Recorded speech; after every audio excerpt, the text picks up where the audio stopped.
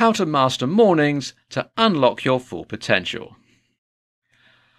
Ah, the morning. For some people, the morning is the best part of the day. For most people, though, mornings aren't just the worst part of the day, they're downright dreaded. Have no fear, though. Mornings do not always have to be a terrible part of your day. In fact, you can use the morning to unlock more potential than you ever thought you had. You've probably heard the phrase, breakfast is the most important meal of the day. Well, that sentiment applies to a lot more than eggs and orange juice. By changing some of your habits, you can make each morning a great start. Here's how to master mornings to unlock your full potential. Step 1 have a routine. Habits are important, especially when they can set the course for the rest of your day.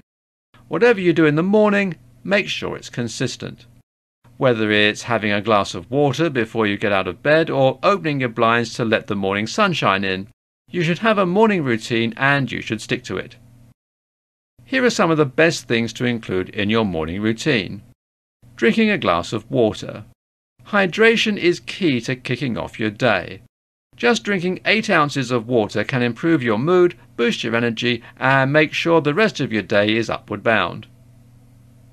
Open your blinds. Let the sunshine in, or listen to the rain against your window. Either way, connecting to the outside world is one of the best ways to start your day. Talk to someone, or cuddle your pets. People are social.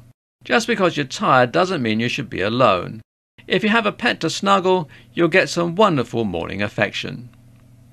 Step 2. Make your bed. I know, I know, no one likes being told to make their bed. But the good news about being grown up is that no one is telling you what to do in the morning. But countless studies have shown that making your bed results in greater discipline, better mood, and increased productivity. Plus, think of your future self. Coming home to a nice, neat bed will help you switch into relaxation mode. No more work, only decorative throw pillows. Step 3. Work out or go outside. Now you don't have to be that guy at the gym at 5 in the morning or go running before it's lights out. Just step outside for a breath of fresh air. There's nothing like hearing the birds chirp, so go ahead, listen to the song of nature. If you do feel up to it, working out in the morning is one of the best times to work out.